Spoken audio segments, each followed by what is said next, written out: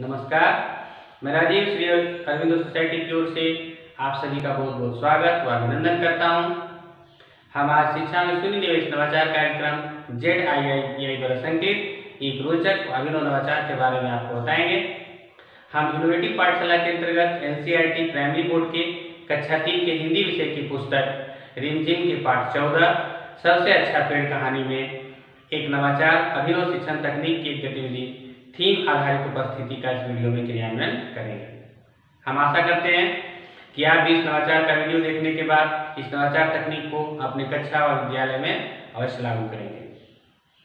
इस पाठ को जेट आई आई आई के कई नवाचार के माध्यम से पढ़ाया जा सकता है, परंतु आज हम इसे थीम आधारित उपस्थिति से समझेंगे।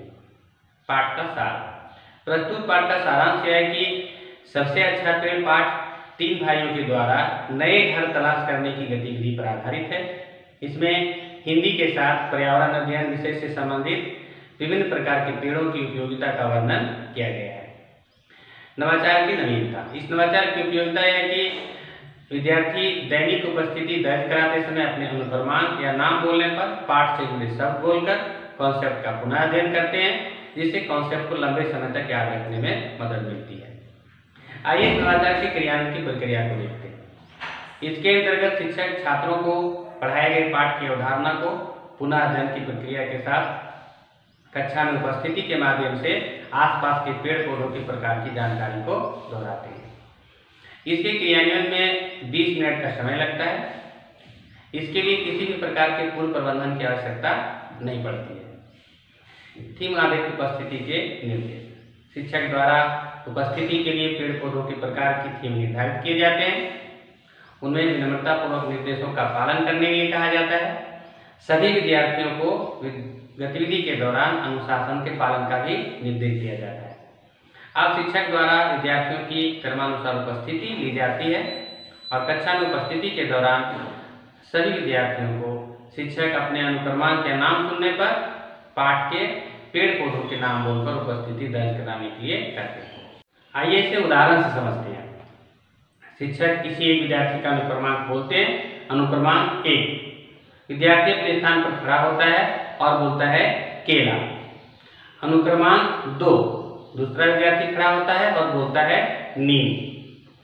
शिक्षक इसी तरह एक एक करके अंतिम अनुक्रमांक तक बोलते हैं और विद्यार्थियों को अपने नाम के साथ पाठ से जुड़े पेड़ पौधों के प्रकार के, का नाम बुलवाकर उपस्थिति के दौरान पाठ से जुड़ी जानकारी को दोहराने में मदद करते हैं। आइए नवाचार के क्रियान्वयन से होने वाले लाभ के बारे में जानते हैं। थीम आधारित उपस्थिति से पाठ पढ़े हुए पाठ से विभिन्न पेड़ पौधों के नाम के प्रकार का दोहराव करते हैं और पाठ को याद करने में सक्षम होते हैं। शब्दों का सही उच्चारण सीखते हैं और वाक्य बनाना और बोलना भी सीखते हैं। इससे भाषा सीखने में मदद मिलती है। कहानी के बारे में बातचीत करते हैं, प्रश्न पूछते हैं और अपने अनुभवों को साझा करते हैं।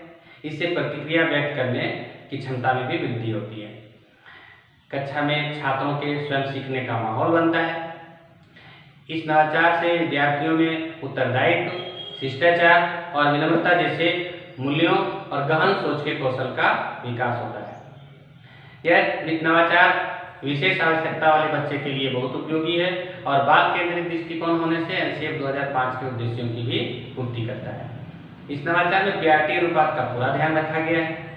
शिक्षक सबसे अच्छा पेड़ पाठ को एक निर्धारित माह में ही पढ़ाते हैं। यह नवाचार का वीडियो आपको कैसा लगा, हमें ज़रूर बताइएगा। इस तरह के कई दिलचस्प नवाचार हम आप तक लाते रहेंगे। आपसे अनुरोध है कि जेड आई आई के यूट्यूब चैनल को सब्सक्राइब करें और अगर आप ये वीडियो फेसबुक पर देख रहे हैं तो जेड आई आई ई आई के फेसबुक पेज को ज़रूर लाइक करें। और नीचे दिए गए लिंक पर जाकर क्लिक करें और इनोवेटिव इनोवेटिव पाठशाला ऐप भी आप डाउनलोड कर सकते हैं। इस वीडियो को देखने और लाइक करने के लिए आपका बहुत बहुत